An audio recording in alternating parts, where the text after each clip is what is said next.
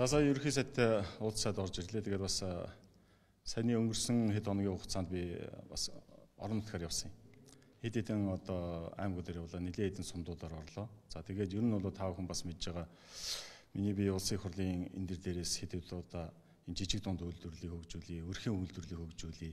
Ард иргэдийн одоо баялаг бүтээх болцоог нь бол нээгдэг тал дээр нэлээ бас ярьж хэлж одоо зөвлөж исэн, санал тавьж исэн. Тэгээ энэ дагуугаа бол бас санал боловсруулж ерхий сайдаж олголоо.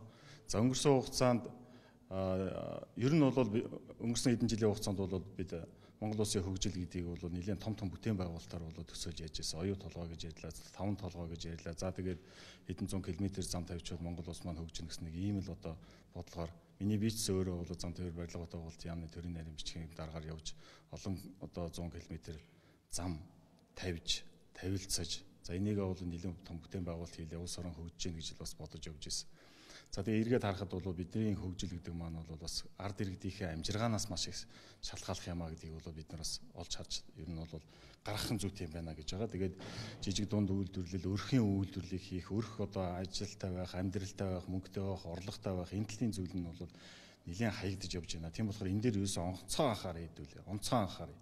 Явдаг том бүтээн байгуулалт бол явдгаараа бол явна. Хийдгээрээ хийгдэн. Энэ бол олон жилийн хугацаанд Монгол улсын одоо том төлөлтөнд бол орсон асуудал. А өнөөдөр хамгийн гол нь тэр тусмаа 2018 оны төсвийг баталж байгаа энэ цаг үед бид нар онцгой анхаарч энэ жижиг дунд үйлдвэрлэл энэ өрхөө үйлдвэрлэлийг дэмжих, зааж ухааны нэгжүүдэд дэмжих энэ дээр бол одоо төсөвд мөнгө тавих гэсэн ийм саналыг л орж хэллээ бид ярьдгаараа ярьчаад одоо төсөв дээр мөнгө тавихгүй бол мөнгө байхгүй бол тэгээд одоо энэ ажил маань бол бүтдэггүй. Тэгээ ард иргэдээ уулзахаар бол ажил хий гэсэн ард иргэд бол маш их. Сая хөдөөгөр явж байгаад ирэхэд бол маш гой гой үйлдвэрлэлийг хийсэн, өрхөө үйлдвэрлэлийг хийсэн, өшөөд гой гой сайхан залуучууд ажил хийсэн, сайхан махатнууд маань өөрсдөө өрхийн хэмжээнд ажиллаа хийгээд ингээд явж байгаа ийм зүйл бол маш их харагдаж байна. Дээрээс нь өрхөө энэ үйлдвэрлэлүүдээ хөгжүүлье, өргөжүүлье. За магадгүй энэ үйлдвэрлэлийг бол зохих төвшөнд нь бол бусад хөдөө аймагуудад өөр сумдуудад түгээс тарах ийм зайлшгүй шаардлага байгаа даа. Тийм болохоор энэ дээр төрийн бодлого бий болгоё. Аа тэгээд одоо засгийн газрын мөрийн өвтөрт байгаа 2100 гэсэн хөтөлбөр байгаа. Энэ хөтөлбөрийн хөрөнд ажлын байр бий болгох дээр ингээд хамтдгаад 2018 оныхаа төсөвт суулгаж агаад овоохон мөнгө суулгая гэж байгаа шүү. Тэгээд ингээд цаашаа явах гэсэн ийм л одоо саналыг тавилаа. Жишээ нь 2017 онд бол 20 тэрбум төгрөг жижиг дунд үйлдвэрлэлд тавьсан. Уртаашаа 20 тэрбум төгрөг. А гэтэл жижиг дунд үйлдвэрлэлийг хөгжүүлье гэдэг дээр бол миний зүгээр хөдөө аж ахуйн яамн дээр очисон тооцоол харсан тооцоолоор бол 500 тэрбум төгрөг байж энэ үйлдвэрлэл Монгол улсын хэмжээнд бол босчих хэвээр.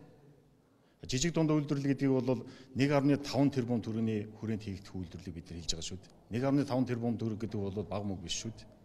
Тэгэхээр энэ хэмжээний үйлдвэрлэл энийгээ дагсан кадастр маягаар жижиг үйлдвэрүүд нь өрхөө үйлдвэрүүд нь дагаж хөгжиж яадаг. Энийг дагаад том үйлдвэрүүд нь урагшаага явж яадаг энэ асуудлыг бол ярьж байгаа. Сая бол ерөнхий сайдтай яриад энэ дээр бол нэлээд мөнгнүүдийг бол 50 гэсэн ийм төлөвөг бол гаргаж байгаа. Ер нь бол жижиг дунд үйлдвэрлэл чиглэлүү а тэгээд тухайн төсөв буюу магадгүй жижиг дунд үйлдвэрлэлийн одоо сан дээр мөнгө тусгаж явъя гэсэн ийм зүйлийг л сая ярьж төгөрлөө.